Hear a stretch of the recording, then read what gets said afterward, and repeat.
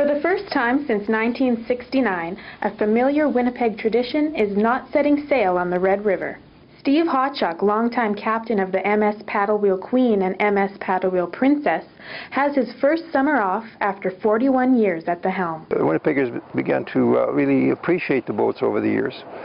And like I said, people got married on the boats, and then uh, they had their 25th anniversary, and then their 30th anniversary, and and then their children you know, were getting engaged and getting married on the boat. So it, it's got a lot of a lot of beautiful memories. The 73-year-old said it was time to retire. Number one was my age. Uh, you know, I'm getting older all the time, so it's not like uh, when I was in the younger days, I had a lot of energy.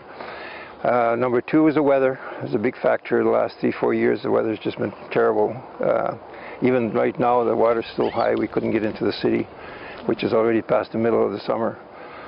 So uh, that cost me a lot of money. High river levels this summer have also affected business at Splash Dash Tours. The river tour business located at the Forks got started a bit later this season and is operating with a smaller staff. It's been steady for the smaller staff that we have this year, but uh, in general it's definitely down from uh, a, a, year where we have regular uh, river, river levels. So I really hope the boats don't stay uh, uh, docked uh, permanently. Uh, that somebody younger would take over. There's still a lot of potential in the riverboats. For the Winnipeg Sun, I'm Jillian Austin.